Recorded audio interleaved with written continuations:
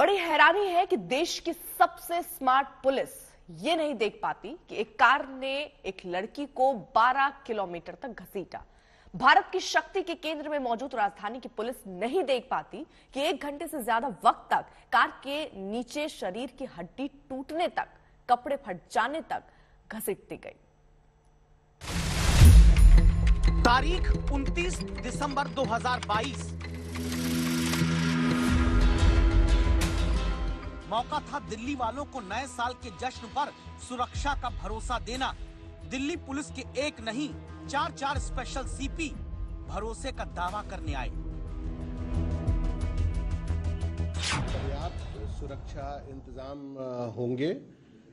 जो दिल्ली के सिटीजन्स का, जो सेलिब्रेशन का जो एक बोनाफाइड डोमेन है, उसको हम लोग पूरी तरह से फैसिलिटेट करेंगे। लेकिन दिल्ली पुलिस की तरफ़ से सुरक्षा के दावे दो दिन के भीतर कुचल दिए गए, घिसट गए, घिसट घिसट कर दम तोड़ दिए। जब दिल्ली में अपने घर की कलौती कमाने वाली 20 साल की बेटी को इस परिवार ने खो दिया, क्योंकि दिल्ली पुलिस दावों का दम भरकर सन्नाटा खींचकर सो गई।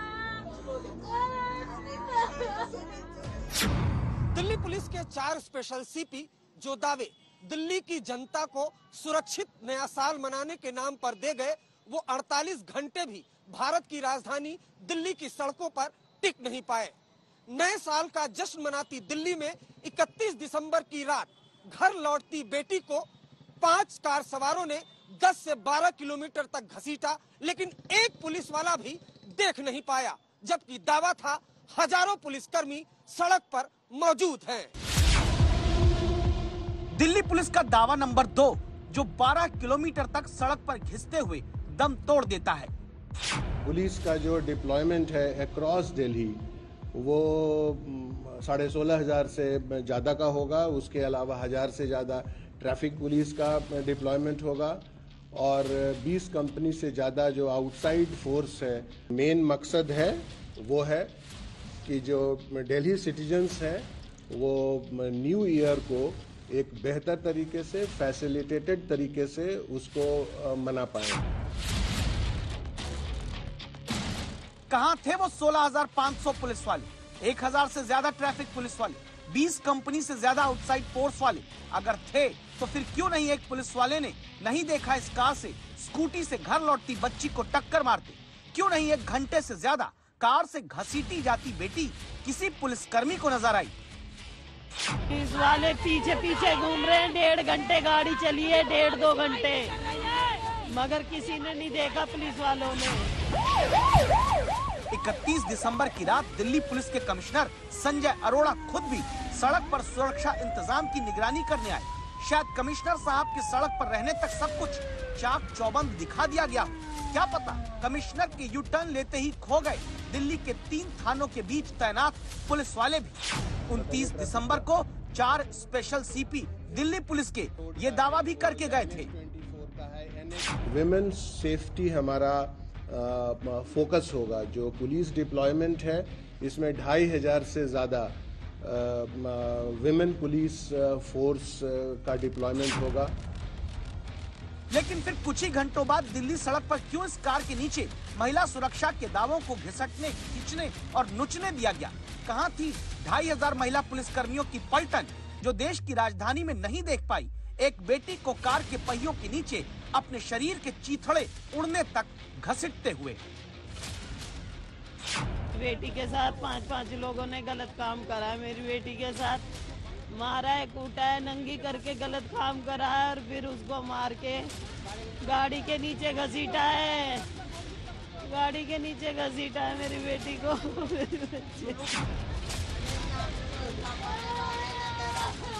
ये अभी तक साफ़ नहीं कि बेटी के साथ किस हद तक जघन्य अपराध किया गया, लेकिन जितना कुछ अभी सामने है, उससे दिल्ली की जनता में गुस्सा है। क्योंकि एक बेटी मार दी गई, शायद, जिसने दिल्ली के चार चार सीपी के मुँह से अपनी सुरक्षा के लिए दावे सुन लिए थे।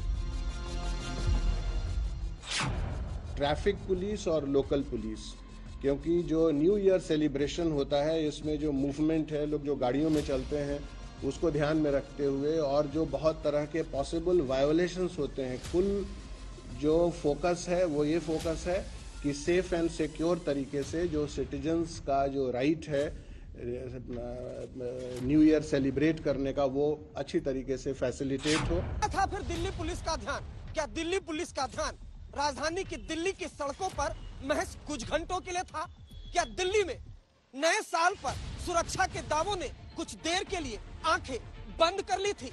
संभव है कि कोई सोचे, दो करोड़ की आबादी वाली दिल्ली में हर पुलिस वाला हर जनता को सुरक्षा नहीं दे सकता।